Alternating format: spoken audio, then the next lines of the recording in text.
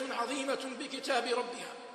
وليعلم أهل الإنفاق أهل الأموال أن خير ما أنفقوا فيه أموالهم طريقين.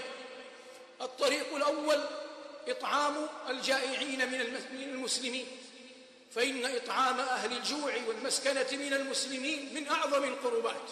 قال الله في كتابه العظيم يخبر عن ذلك أو إطعام في يوم ذي مسغبة. يتيما ذا مقربة أو مسكينا ذا متربة.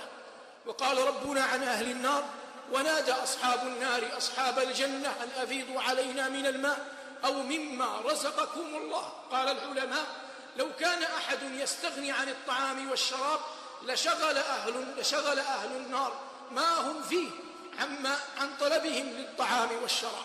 فإطعام الجوع من المؤمنين من أعظم القربات. والحال الثانية والطريق الأخرى الإنفاق على دور القرآن وعلى كل من يعنى بالقرآن تعلما أو تعليما أو غير ذلك مما يعود على أمة الإسلام نفعه ويعود على شباب المسلمين أن يجعلهم أشد حرصا وأمثل طريقة في التوجه إلى كتاب ربهم.